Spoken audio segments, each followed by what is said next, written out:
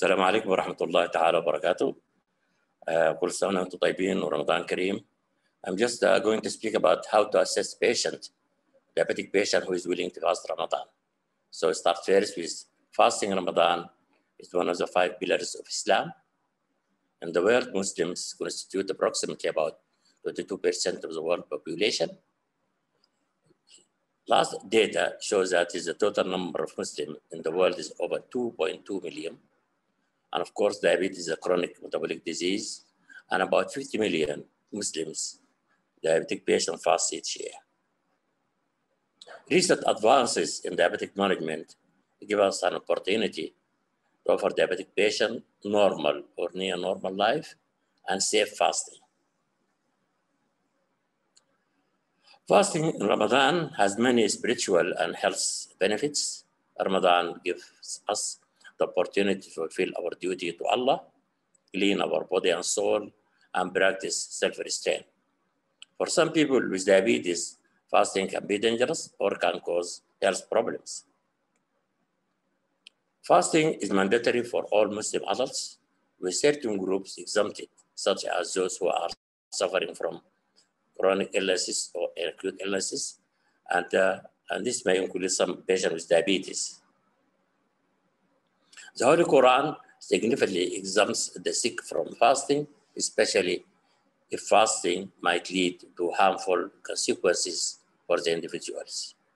الآية 183 و 184 أعوذ بالله من الشيطان الرجيم. يا الذين آمنوا كتب عليكم الصيام كتب على الذين من قبلكم.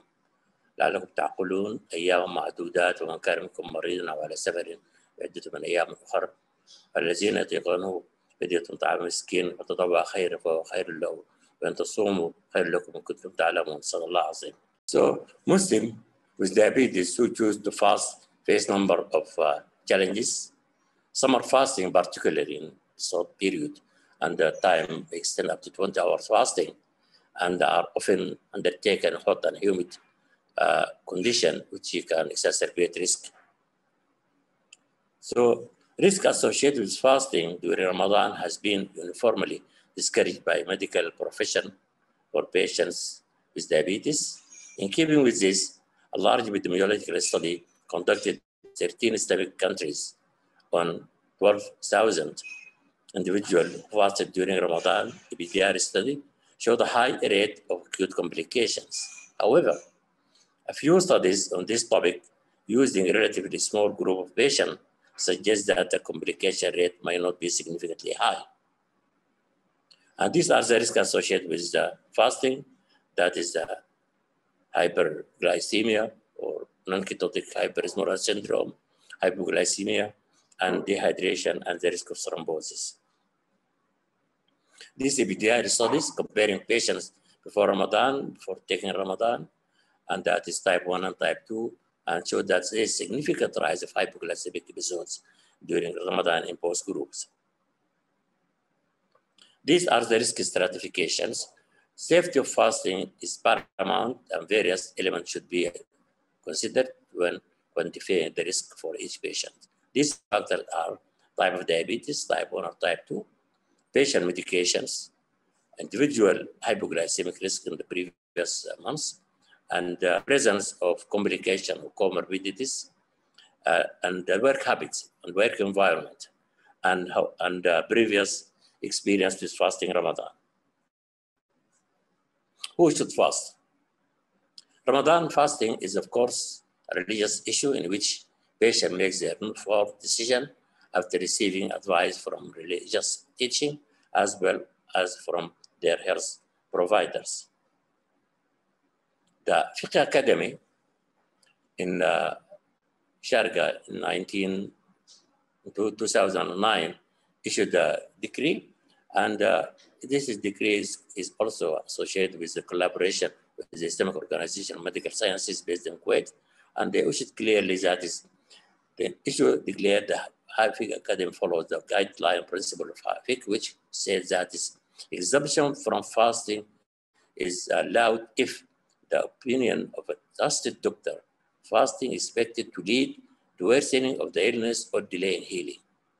And the Fiqh Academy largely endorsed the recommendations suggested by the ADA working group in 2005 and categorized patients with diabetes into four risk groups. These are high risk, high risk, um, moderate risk, low risk, and no, and no risk. However, patients with system fasting need to be aware of the associated risk and he be ready to adhere to the recommendation of their healthcare provider to achieve a safer fasting experience. Patient may be at high or low risk for fasting related complication depending on the number and the extent of the risk factors. So requirements for safer fasting. These are the requirements generally. Pre-Ramadan assessment and education, self-monitoring blood glucose, nutrition, physical activity, breaking the fast, and medical and medication adjustment.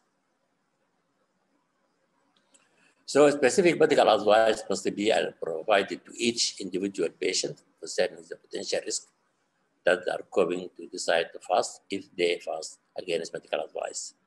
During this assessment, necessary changes in their diet or medication regimen should be made so that the patient initiate fasting while being in a stable and effective program. These are the pre-Ramadan that usually taken about one to two months before Ramadan, full medical history, including the duration of the diabetes and uh, what type of medications the patient is taking, medication is taking, insulin, oral anti-diabetic drugs, and if he has got any previous uh, cardiovascular or uh, any other risk problems. The degree of patient diabetic education, how far he is knowledgeable about diabetes, and uh, and the diet. Is he uh, following a specific diabetic diet or is taking randomly? self blood glucose monitoring and smoking history, and of course, sedation has to be applied. A physical examination should include proper pulse examination and peripheral pulses, blood pressure, preferably supine and standing to check any uh, postural drop of blood pressure, palpation and auscultation of the carotid or carotid bruit, the JVP if it is raised or normal, thorough cardiovascular pulmonary examination to look for any evidence of cardiac or pulmonary disease, abdomen examination for the liver, and to look for pitting edema, which might be of renal or cardiac origin. And of course, good examination of the feet to look for any ulcers. Of course, neurological examination should be taken using a 10 gram nylon microfilament for cessation. Knee and ankle jerk should be assessed. Visual acuity is very important, visual field, and extraocular muscle movement to look for um, uh, movement disturbances and of course the fundoscopy to be taken after full fundal dilatation. The appropriate test to be taken are the fasting blood glucose, prefer, uh, prefer to be several readings before coming to this care, uh, healthcare provider, hemoglobin A1C, renal profile and estimation of the glomerular filtration rate, lipid profile, urine general, urine albumin creatinine ratio for microalbuminuria, and ECG and urine for calcium sensitivity if the urine initially showed significant pyuria. Trial of fasting in the pre-Ramadan period, trial of fasting for three consecutive days before Ramadan should be encouraged, valuable to assess the risk of hypo and hyperglycemia, and can help to guide for medication adjustment. Self-monitoring blood glucose is paramount. All patients with diabetes should be encouraged to monitor their blood glucose. They should practice using glucometer. Many of the risk fasting fasting in Ramadan and diabetic patient can be avoided by frequent blood glucose self-monitoring. But how many tests should be done daily and when? This is just a recommendation that is frequent monitoring, particularly in the first few days of Ramadan, especially in patients on insulin or secretagogues, to verify safe fasting early morning, noon, late afternoon, and before sunset, and to verify adequate diabetic control after iftar, late night, and before sahur.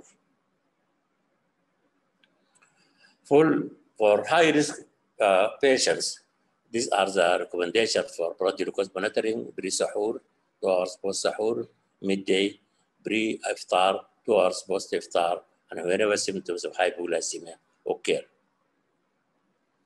The nutrition also had this to be addressed, and the patient is advised to avoid uh, overeating, healthy and balanced diet, avoid large fried food and carbohydrates, and suhoor, delays the suhoor as possible, and ingest complex carbohydrates, and uh, maintain a constant body mass and plenty of fluids in non-fasting hours.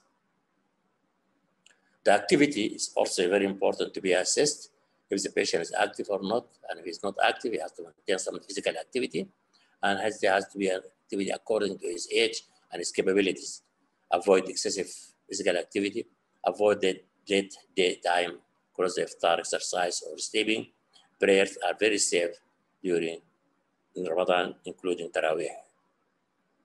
And educational counseling, this should be taken by the care provider, educationist, and the family member and the patient himself, and uh, about self-care, including signs and symptoms for hyper hypoglycemia, blood glucose monitoring, meal planning, physical activity, medication administration, and management of acute complications. Adequate nutrition and hydration should be emphasized in addition to ensuring readiness to treat hypoglycemia promptly should it occur, even if it is mild. Use glucose gel, glucose containing liquid, glucose tablets, or glucose injection by family members or friends. This is the READ program, which shows a significant reduction in hypoglycemic events in patients who received well uh, uh, medical education before fasting compared to the patient who didn't receive any fasting. And you can see clearly in type 1 and type 2 degree, degree of hypoglycemia significantly lower in the patient who were well educated. The, the general consideration is that there's several important issues deserve special attention, that individualizations. Perhaps the most crucial issue is the realization that care must be highly individualized and that the management plan will differ for each specific patient. Frequent monitoring of blood pressure, uh, blood sugar, and I insist on this one, that frequent monitoring of blood sugar is very important, as we take several times a day. And thank you very much.